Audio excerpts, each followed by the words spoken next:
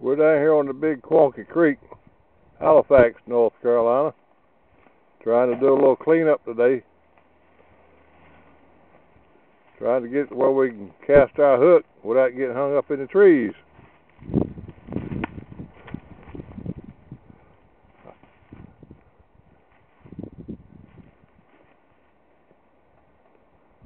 The North Carolina Department of Correction was good enough to let me have use of an inmate today.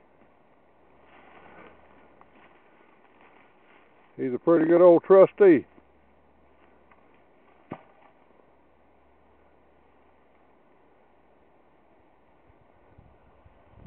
What do you say, Crow?